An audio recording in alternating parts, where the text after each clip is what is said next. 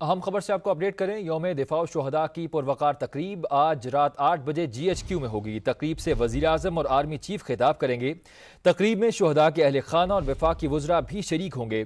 दिफा वतन की खातिर जानों का नजराना पेश करने वालों को खराज अकीदत पेश किया जाएगा।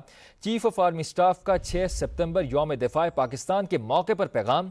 आर्मी चीफ ने कहा छः सितंबर का दिन हमारी कौमी और अस्करी तारीख में नुमाया हैसियत रखता है।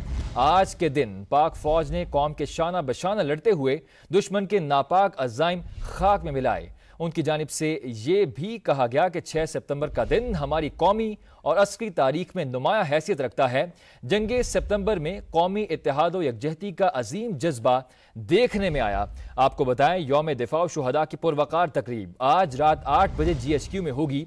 तकरीब से वज़ीर अजम और आर्मी चीफ खिताब करेंगे।